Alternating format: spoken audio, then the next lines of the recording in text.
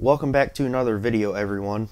This is a really exciting update we have here. Recently, KDFans.com, which is ran by the same people who run BGWFans.com, posted an article with some supposed plans by King's Dominion for a B&M wing coaster, which at the time these plans were made was set for a 2021 opening. The article, which I will link in the description, it's a great article. Go check it out. There's a lot of information there, way more than I can go over in this video. The article includes a lot of details about the ride, and it's very similar to a wing coaster in China at a park called HB World. The difference with the layout presented in the plans here is that it's missing the vertical loop and the helix at the end. So that's kind of interesting. It looks like it'll only be around 100 feet tall. That's fine. We all know that a coaster doesn't have to be a huge mammoth ride to make a great ride.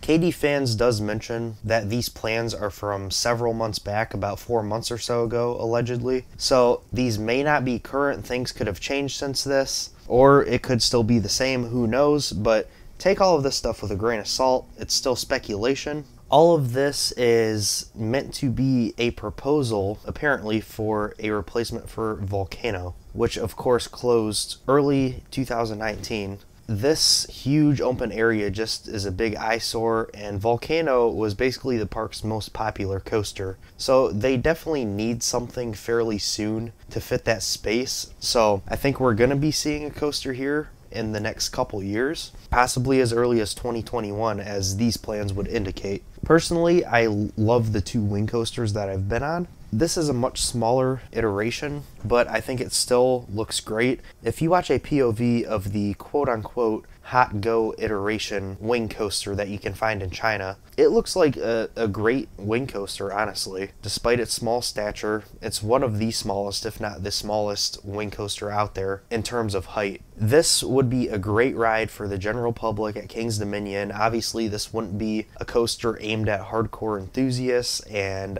obviously, that's not what they're going for when they add a new ride. I think this would do great for King's Dominion. It would be awesome to see them add another B&M to the the park. The only one they have is Dominator, the relocated floorless coaster from Geauga Lake. And that's an absolutely fantastic ride. You can go watch my review. I love Dominator, and it's my third favorite coaster in the park. But it would be nice to see a newer B&M added here as that's the only B&M they have. This could add something great to the park. Looking at the plans here, if all of these plans were to become reality, then there would be a huge plot of the volcano land still left empty, which is pretty interesting. That could be for many reasons. My speculation is that it has to do with cost. They had to hurry up and try to get a replacement as soon as possible for Volcano, and they couldn't spend a whole lot of money in relative terms, so they had to go with a, a smaller size B&M. And I think that's why it might be on the smaller scale, why it doesn't take up that whole plot of land.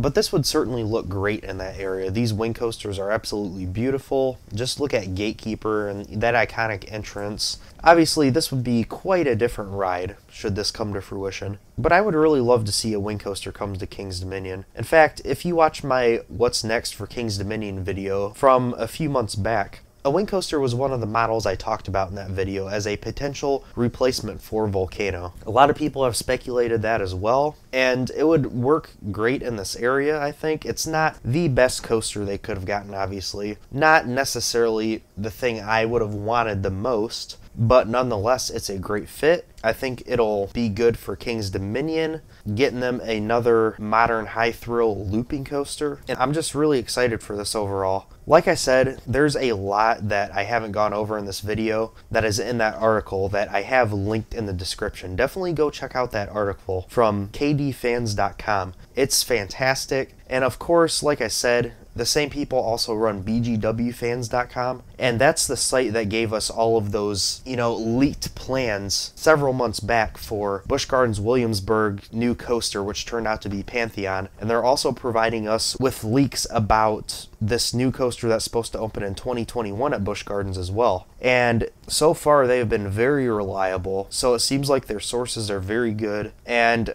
like I said, still take all of this with a grain of salt. They make that very clear. None of this is set in stone in any way. But let me know what you guys think about this. Are you guys excited to see something like this at King's Dominion? Should this actually pan out and come to King's Dominion? Let me know your thoughts in the comments below. And thank you guys so much again for watching this video. Be sure to like my page Coaster Daddy on Facebook and follow me at Coaster Daddy Official on Instagram. This is Coaster Daddy. Bye.